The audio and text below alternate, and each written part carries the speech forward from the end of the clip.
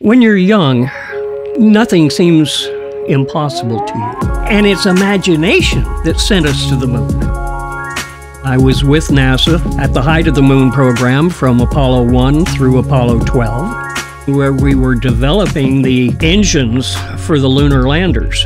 There were people that said we'll never be able to do it. President John Kennedy gave us the will to do the impossible. We choose to go to the moon in this decade and do the other thing, not because they are easy, but because they are hard. After the Apollo project came to an end, I bought a T 34 and flew it for a while. I had a love of aviation.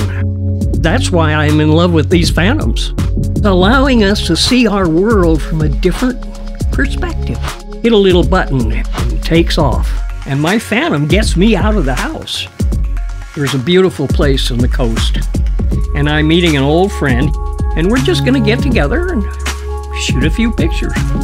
The people at DJI have harnessed a new way of seeing the world around us, but only for those who have the courage to see with a different perspective. A selfie? Flying? What more could you ask?